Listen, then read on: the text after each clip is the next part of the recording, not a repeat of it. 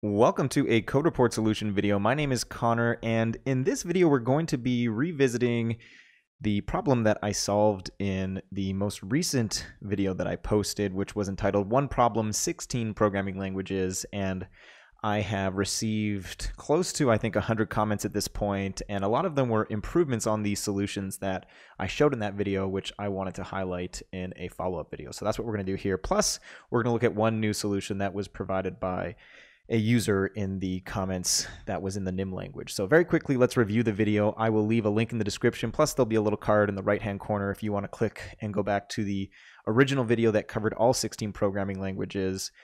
The problem is find the GCD of an array, and very simply, we're going to be given a list of numbers, and we need to find the greatest common divisor of the minimum and the maximum value that exists in that list.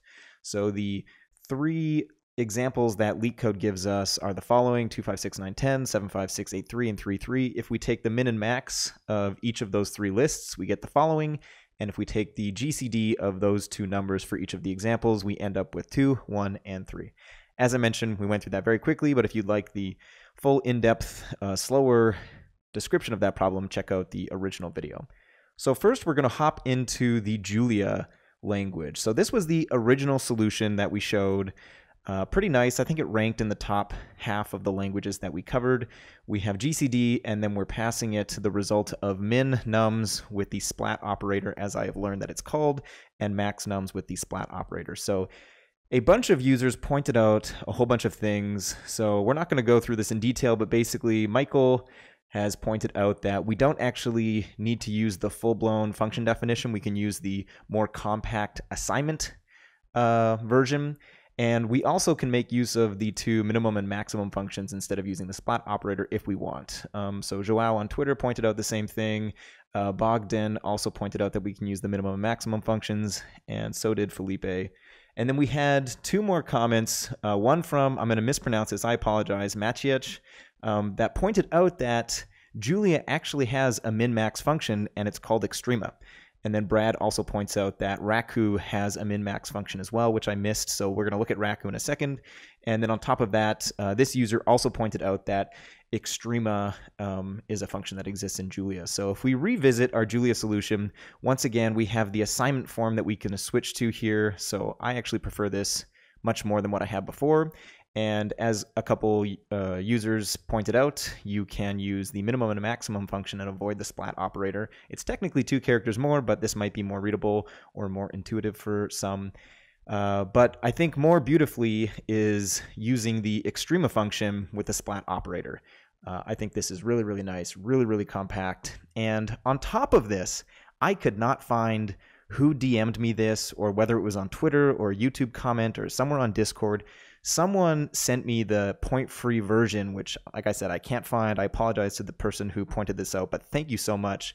You can uh, make this a point free solution in Julia by using the composition operator, uh, which you get by going slash circ s or circ um, in the Julia terminal or whatever IDE that you're using if it supports sort of the backslash completion.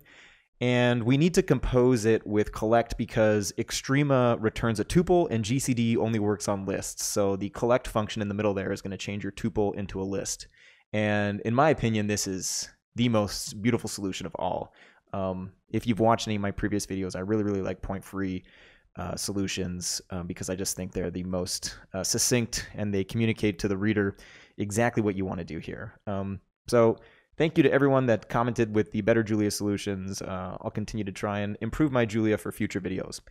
Moving on to the next language that we're going to revisit is, I believe, Raku. So we'll go through this one really quickly. There was a bunch of comments um, from folks that knew Raku, but uh, I'm only going to highlight one of them that's basically pointing out that there is a min-max function that can be used here. So uh, the syntax is slightly different, but basically uh, we take the GCD, put it in brackets, and then we go nums.minmax.bounds. And uh, I do prefer this. Anytime you can use an algorithm that's going to do a single pass instead of two passes uh, because you're doing two different explicit calls to algorithms that are linear, I think that's much preferable. So yeah, once again, thank you um, for posting this improvement. Moving on to the third language that we're going to look at, Ruby, we got a couple folks that pointed out that you can omit the return similar to uh, languages like Rust. and I think actually potentially Rust borrowed this from Ruby. Um, so uh, this, so yeah, Ilya pointed that out. Then John pointed out the same thing. And uh, thank you so much. I don't know how to pronounce this. Luge8n uh, pointed out that Ruby actually has a min-max method, and I'm not sure how I missed this because I should have checked because Ruby has a plethora of functions, um, and it leads to the most beautiful version of this solution, in my opinion. So once again, we can omit the return here, uh, but more importantly, we can substitute the two explicit calls to .max and .min and end up with this nums.minmax, and then because you end up uh, with the two values, you need to do a reduction, and then you can pass it the colon GCD, and you're good to go. So uh, a big improvement, in my opinion, compared to the sort of asymmetric, as one of the commenters pointed out. I think it was Rodrigo pointed out that they didn't really like the initial Ruby solution because it was asymmetric and you couldn't read linearly, but now you can read just left to right and you're good to go. Moving on to our fourth and final language that we're going to revisit, I believe, is Fortran. So this ranked at the very bottom of all 16 languages that I covered last time, but I pointed out this is the first Fortran code that I've ever written, and the response that I got from the Fortran community was uh, so amazing. So thank you to everyone in the comments and on Twitter. Um, a lot of folks that aren't Fortran developers were sort of casting shade on the language, um, but the Fortran folks took the time to point out all the li little things that I could have improved on. Um, the Fortran uh, language Twitter account even uh, retweeted my initial video tweet saying that you know they're going to work on improving their tutorials in the future, but just thanks for covering it, which I thought was awesome. And then uh, Milan uh, posted a bunch of improvements, so let's walk through them. But uh, just thank you to all the Fortran folks. Um, it's a model of how a community I think should act if they're trying to get people to um, be more excited about their language. Um, so yeah, let's revisit my initial solution. So the first thing that we can do is we can omit the sort of result res at the at the end of our uh, function signature and omit the temporary res variable and replace this with find GCD equals what we're going to return. Um, so that cleans things up quite a bit. Uh, the second thing that we can improve on is that we don't actually need to pass the num size. There's a new syntax where basically if you um, replace the num size in our nums here with a colon, we can omit that and it'll just infer the length of our array nums. So if we do that, we can get rid of num size, uh, an extra line, and we're now just down to three lines in our implementation. And on top of that, it was pointed out that the implicit none is typically uh, included at the top of a module. So you're not going to have to include this in the function. So we can omit that as well as long as we include it at the module level. So we went from what we had before down to just basically uh, two lines in the body of our function if you exclude the function signature and the end function find GCD. Um, so this I, I thought was absolutely awesome. Still doesn't rank in the top, you know, eight languages because you have to implement the GCD function on your own. Uh, but speaking to that, uh, Milan, the same person that um, tweeted out the improvements on Twitter, uh, posted on the GitHub issue that I mentioned in the video, saying that you know we should work on getting this in because 15 of the or 14 of the 16 languages that I covered in my original video all have GCD in the standard library. Um, so just super awesome, as I mentioned before, the response that I got from the Fortran uh, community, and um, because of that, yeah, I will try to include more modern Fortran and improve my uh, Fortran foo so that uh, my future solutions aren't uh, so suboptimal.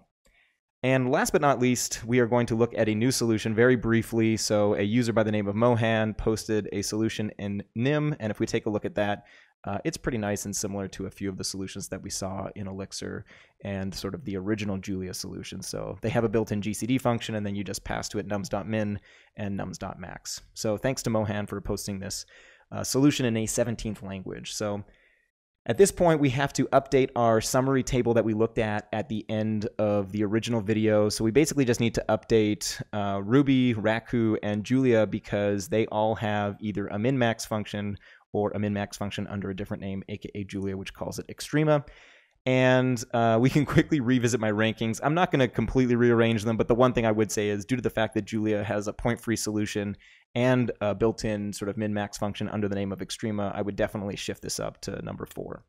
And the last thing I'll mention, as I did at the end of my last video, was that if you're interested in this kind of content, be sure to check out either one of my two podcasts. The first one, ADSP, the podcast, which stands for Algorithms Plus Data Structures Equals Programs, or my second podcast, ArrayCast, which focuses on array languages like APL, JK, and Q. Thanks for watching. Thanks for everyone that responded in the comments last time. And I hope you learned something from this video, as I definitely did from the comments. Hope you have a great day.